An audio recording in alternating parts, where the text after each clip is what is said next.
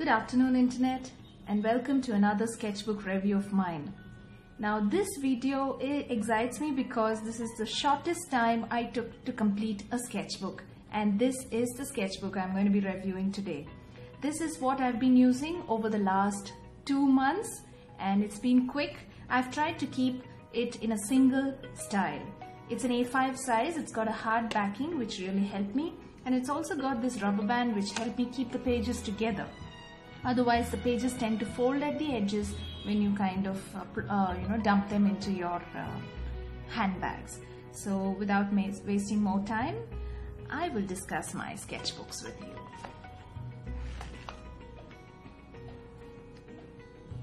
So the paper is quite uh, thin, but I use this as an everyday sketchbook. I didn't probably look at you know a particular theme or a particular setup.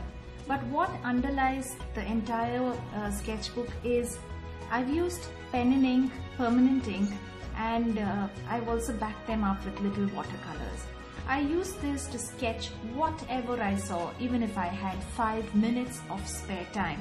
So I made it a point to carry this everywhere and and it was also a light book because heavy books tend to become bulky when you walk uh, walk with them around. This was mostly used when I was at home. I think 50% of the sketches are done when I'm at home. And you will find it, a lot of my husband and my family being featured in these sketches.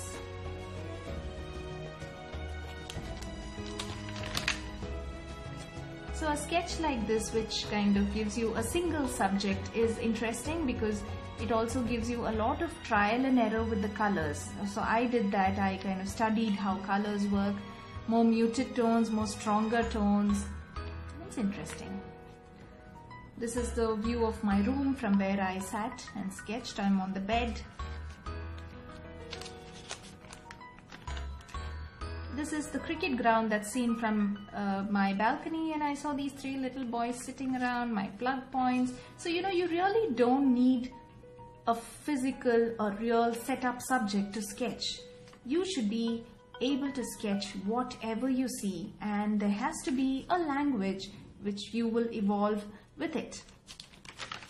Now this is when I took my son to the play area and uh, everybody's sitting on the floor, kids are playing around, there's ample time to sketch. This is interesting, this is not a pencil sketch, this is a pen, pen from Copic, it's a grey color marker. And I also tried out detailing and bringing textures out with a lot of lines and a lot of color. The auto rickshaw, they never fail to entice me, the color and you know, the they're, they're nice uh, subjects to work on, especially if you're waiting in the car or wait, uh, you know, it, it, gives you a lot of, um, it's, it's a good subject to kind of work on. Again, when I was in a conference, and then, you know, in a car, you have ample time at the signal, especially in India where you have three or four minutes per signal. There's good time to create a sketch of what you see and come back and render them in your style. It's also the way I study and also write about my day, make little notes here and there. They make it interesting. This was from a photograph where I wanted to document a very special moment I shared with my son. So uh, I got that done up. So exactly um, the point here, the point in this sketchbook is sketches don't need to be very refined. They just need to add or, or, or document the crux of that moment.